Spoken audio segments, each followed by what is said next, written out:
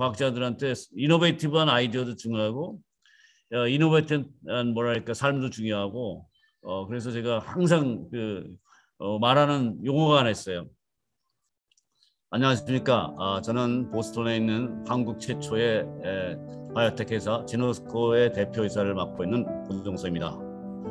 사실 저는 이 진약 개발을 40년 전에 에, 비전을 갖고 시작했고 그 근간은 뭐냐면 제가 우리 국민이 제때 치료받을 수 있는 제약식권을 확립하자는 게 젊은 날의 에, 희망이었습니다. 그래서 LG생명과학에서 최, 최초의 당뇨병 치료제를 개발해서 어, 지금 많은 당뇨 환자의 치료에 쓰이고 있고 어, 다음에 이번에 말씀드릴 것은 폐암 치료제인데 이거는 우리나라 특히 여성분들에게 많이 걸리는 폐암 치료제에 대해서 그 개, 어, 디스커버리와 디벨로먼트와 그 임상 허가까지에 관한 과정에 대해서 말씀드릴 기회를 가지려고 합니다.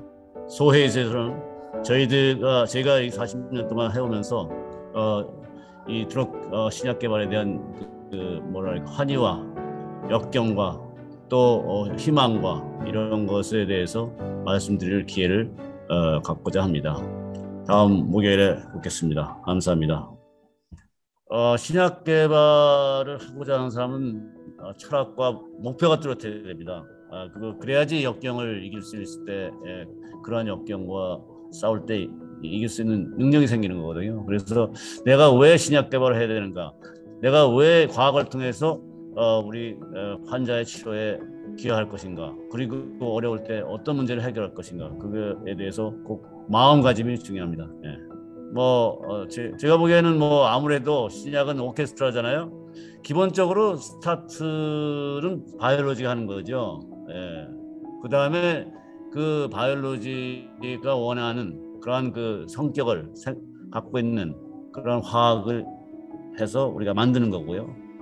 그 다음에 이것이 환자에 쓰이는 것을 테스트할 수 있는 임상의학이 또 필요한 거고요. 그래서 기본적으로 under에서는 저는 화학이나 biology를 추천합니다. 어, 대학에서는 뭐 좀 더 어, 뭐랄까 응용적인 거라든가 아, 아니면 응용도 사실 fundamental 이슈를 해결해야 되죠. 생명 생명 현상의 이슈를 화학자나 아, 아, 그 생물학자나 똑같이 address 할 수 있는 그 능력을 키우는 것이 중요한데요.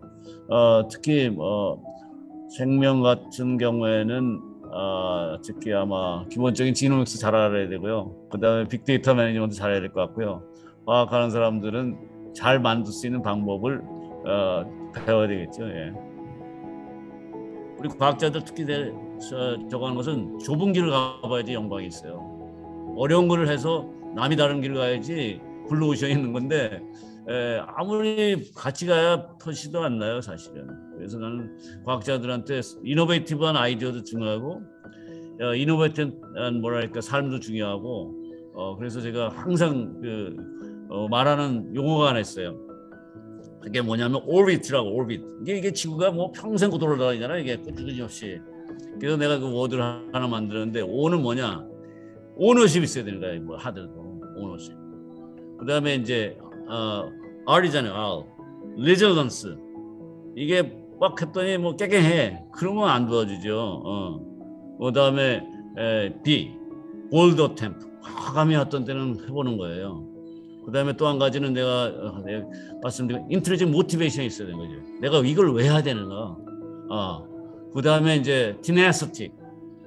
그래서 제가 이게 신약 개발에 제가 갖고 있는 기본적인 소양이라고 저는 생각합니다. 그래서 어, 내가 이제 나중에 이런 것도 우리 소에서 일할 수 있는 기회가 얘기할 수 있는 기회가 있으면 좋겠어요.